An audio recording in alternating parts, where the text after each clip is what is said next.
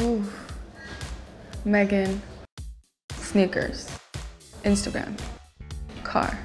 Uh, no, no car because I don't have my license. It was in Paris, H&M show. Thank God it was rehearsal. I literally fell into the camera people. I turned red and I never turned red. Harry Potter. Beach holiday. Football. Oh, that's so easy. Portuguese. I first one I would say Michael Jackson. I mean, I grew up with his music. Paul Walker, because I have a crush on him. Lauryn Hill. Summer. Spa. Chocolate sprinkles. I just love to sleep. Disco. 80s. Erykah Badu. She's not scared to like wear anything. She just puts everything on and she still looks good. California room. Amsterdam. Dogs. Tea. Croissant.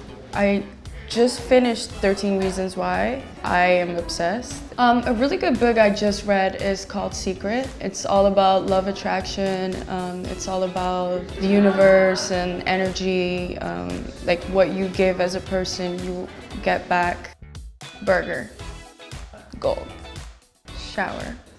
Um, I think time traveling. Like I could just go to 1996 when I was born. I would like to be a giraffe.